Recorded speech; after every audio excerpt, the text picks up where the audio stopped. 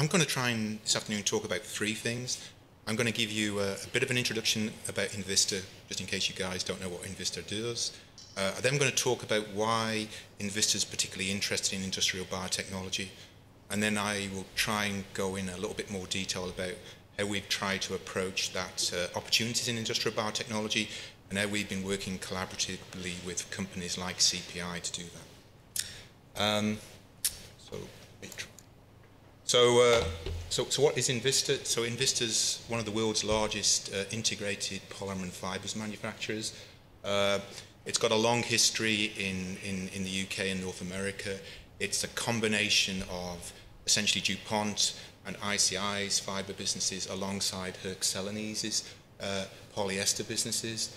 Um, you can see at the bottom we've got a, a variety of brand names that you probably have uh, seen in shops and on garments. Um, and uh, you know, we're quite large. Uh, we've got about 10,000 people in about 20 countries, so we're slightly bigger than some of the companies that uh, are on the stage today, but you know, we're slightly older than those companies as well, to, to be fair.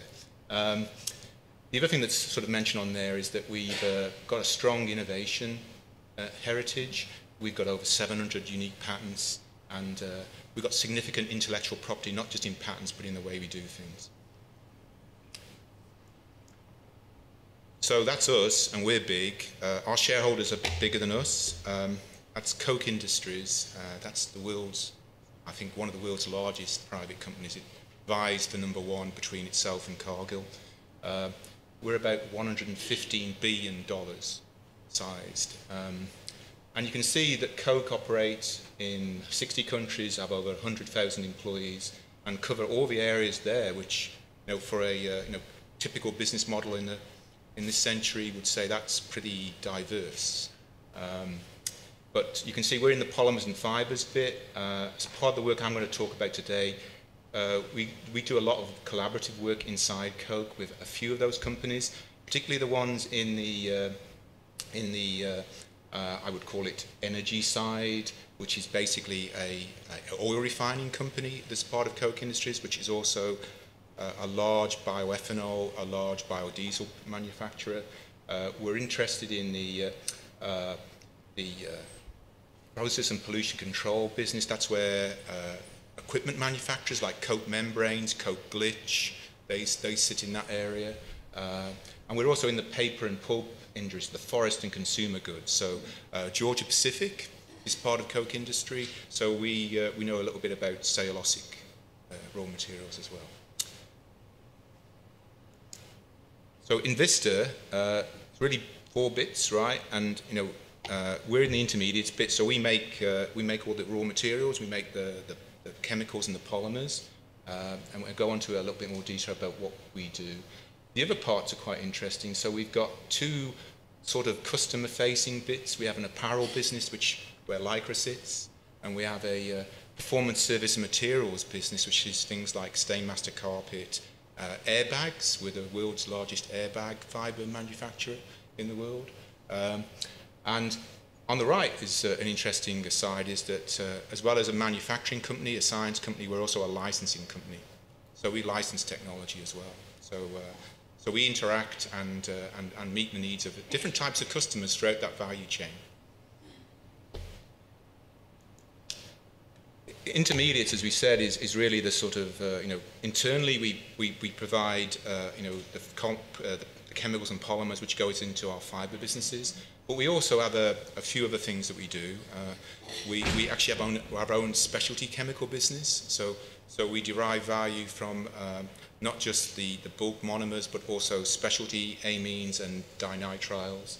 Uh, and those are some of our trademarks, probably not as well known as Lycra, but you know, in, in certain businesses, those are, those are well known as well.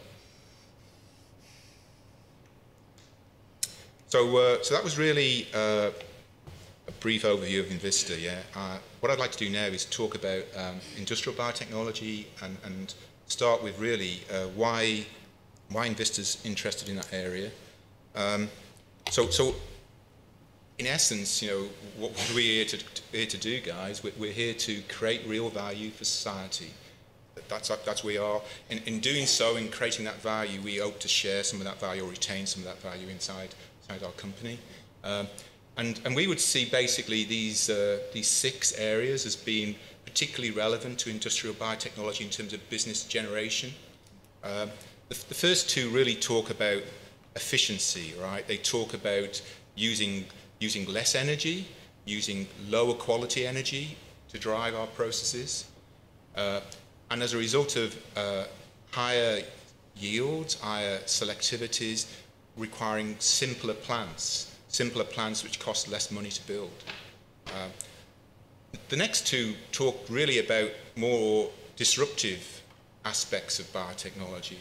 So, so these allow us, or we believe, Invista believe that uh, biotechnology has the potential to allow us to use a different type of feedstock, a lower cost type of carbon feedstock, and actually do chemistry that we can't really do today.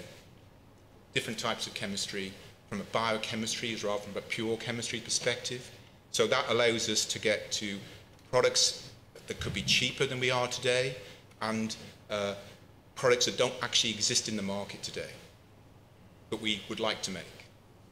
Um, the last two really talk about uh, the environmental aspects of our process, uh, and, and, there are environmental benefits. Uh, the last one basically states our position is that you know we don't believe uh, ultimately the consumer will pay for us to be green. You know we, we're going to need to be good at the top through the top four or five elements on this chart. Uh, for a period of time, we might get a premium for being for being green, for being for being bio-based or bio-derived, but but that premium won't last. And the consumer won't give us that money forever.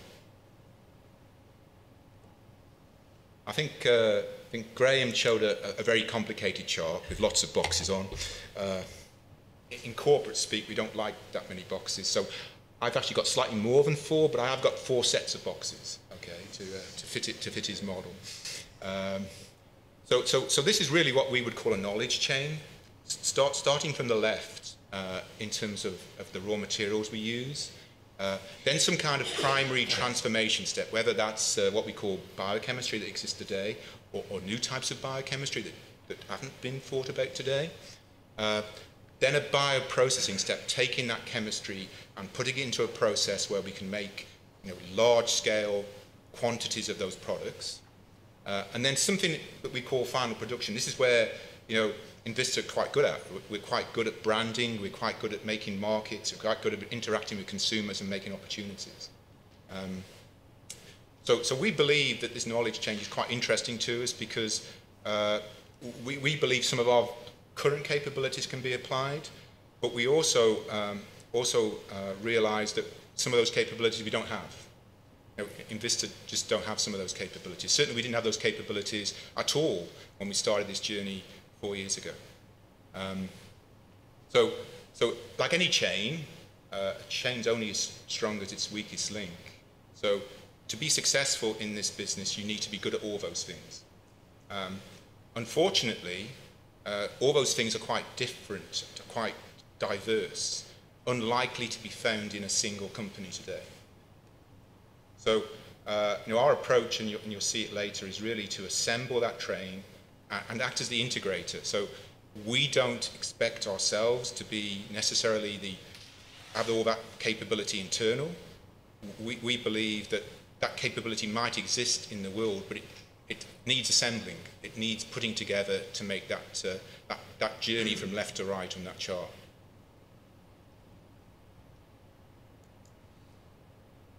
So as we approached putting that chain together, um, the, the first thing really was what, what problem were we trying to solve? So, uh, so that's really trying to, what we say, make a comprehensive view of the opportunity.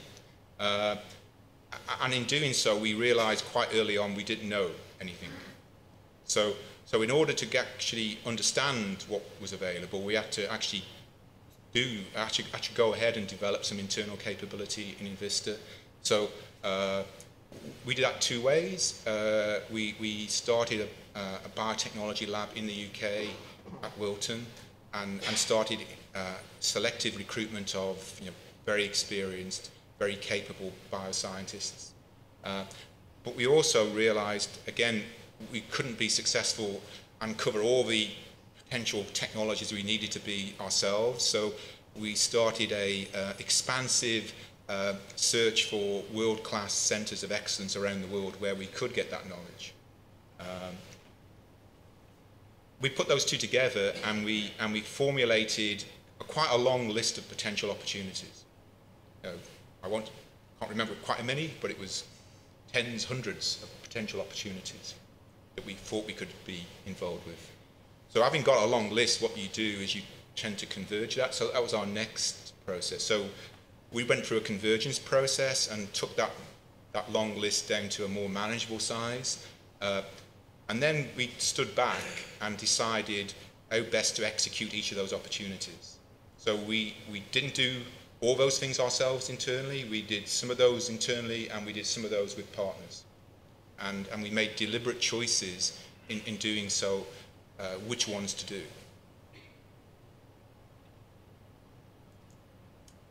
So this is a really, really busy chart, and you know I'm, uh, I'm, I'm, conscious you're not going to be able to read all that, but I think this is an illustration that uh, to be successful in biotechnology, industrial biotechnology, you need to be good at all that. And this is just the science side of things, and that, that's probably quite difficult to do if you start from a zero base. So, uh, so what we've tried to do is through our collaboration partners and our relationships is, is fill in that gap. Some of those things we consider so important that we will develop that capability and we have sought out to develop that capability internally. Some things, some things we found that there were better people outside to do that work with us. Uh, and, and we were quite happy to find those.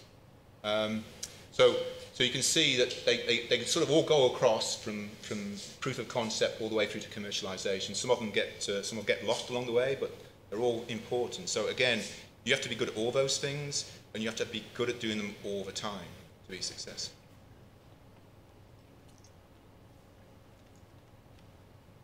So, uh, so I think this is my last chart. So, uh, so, so, so this is really a list of some of the companies. So that's our web page, and you can you go to that web page afterwards. So, so we're, we're a private company, so we don't really like talking an awful lot about who we work with. Uh, but, but those are the ones we've actually physically uh, publicly announced in terms of our website. Uh, and of course, CPI is, is, at the top of our list. Uh, there's also another company based in the UK called Ingenza, based in Edinburgh. The rest of the companies are, you know, quite interesting. Uh, uh, a New Zealand come American company, a American company, a Portuguese company, and an Austrian company on that list. Um, so again, I, I think it, it, shows that you know we don't we don't uh, don't have to use the local one. We, we, we sort of sort out the, the best. Yeah.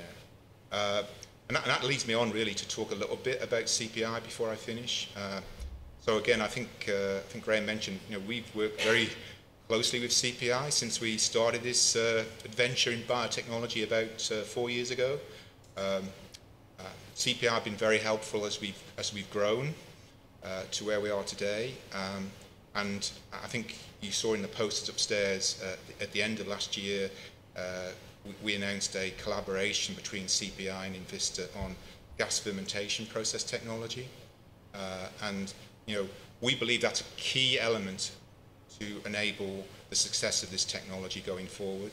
Uh, and we're delighted to, uh, to have CPI as a partner in doing that. Uh, I think both partners, both CPI and ourselves, realize that we both have to learn and we both have to develop our skills and capabilities to be successful. Uh, but I'm confident that, uh, that we will be successful. So at that point, I'd, I'd leave it now.